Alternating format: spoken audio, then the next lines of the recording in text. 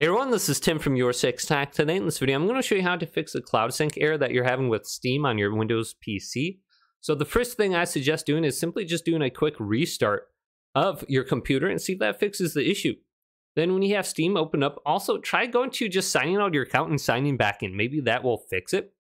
Then we can go to the game also and go to properties. Right click on it and go to properties right here. Go down to installed files right here and verify this game files are installed correctly. Otherwise, you could try moving the installation files somewhere else. So we can also do this under Steam. We're going to go to settings. Let's go to cloud first and make sure enabled Steam Cloud is checkmarked right here. Enabled Steam Cloud synchronization for applications which it supports. Then let's go over to storage. And we could try moving the game to a different hard drive if we have two different hard drives, or just try moving it to a different location.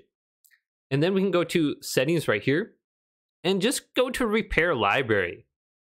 And maybe simply just repairing the program x86 library in Steam we'll go ahead and fix that issue.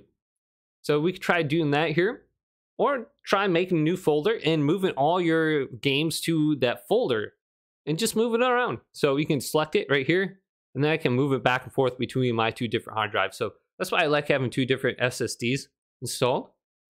But hopefully this quick little video did indeed help you out. Did, leave it a big thumbs up and subscribe my channel down below for more tech out videos coming up next on Your Six Tech.